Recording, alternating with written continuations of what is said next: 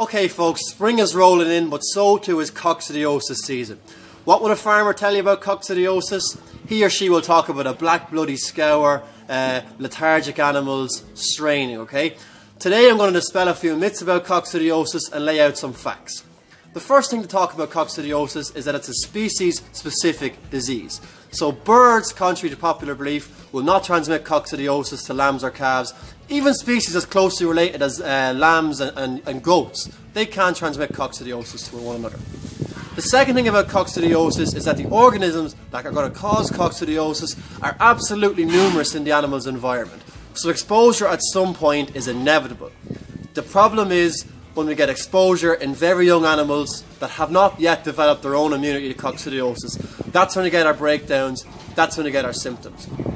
Next fact about coccidiosis, it's largely a subclinical disease.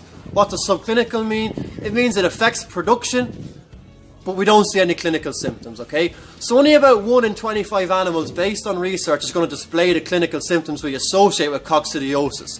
So if you have a group of 25 animals with one displaying symptoms, chances are the rest of them are fighting off that disease. They're trying to fight the coccidia organisms inside their body, and that's going to be hitting production. And research would suggest that that production hit is about 20%, 19%, okay? So not to be sneezed at at all.